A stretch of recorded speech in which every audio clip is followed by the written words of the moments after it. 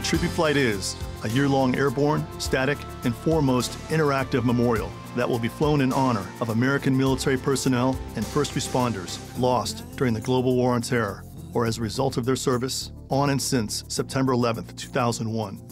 The Tribute Flight's vital mission statement is to honor the fallen, to help the wounded, to thank our heroes. The aircraft used for the mission, the Tribute Eagle, will be a modified Bombardier Q400, which will bear the names of the fallen on the exterior of the fuselage or display names with images inside the main cabin. Placement of the names and images will be at the discretion of surviving family members. There will be 56 stars on the aircraft, horizontally or vertically opposed, one star for each U.S. state or territory.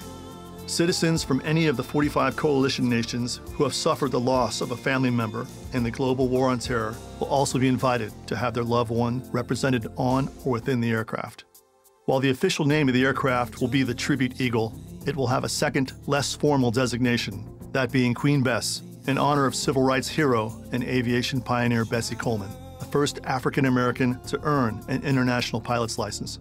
The Tribute Eagle's remarkable year long airborne journey will begin and end on Memorial Day. After touring the United States with stops in the United Kingdom and Canada, the Tribute Eagle will be open for public inspection at its home airfield in Las Vegas, parked in front of a custom built Gold Star banner roof hangar, the Tea House.